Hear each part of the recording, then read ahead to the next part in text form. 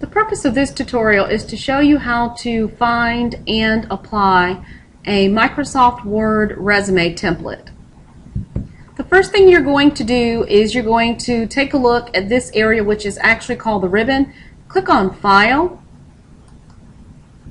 Once you do that, the next thing that you're going to do is move your mouse down and you're going to click New. To make a resume template, all you do is take a look in this area where it says Available Templates.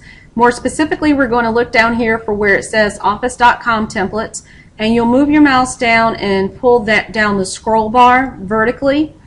If you look in the middle section, you'll see where it says New Resume Samples, or you can look at where it says Resumes and CVs. I'm going to click on New Resume Samples. And when this particular one pops up, it points out that this area is out of date. If you see that, go ahead and click on the back arrow.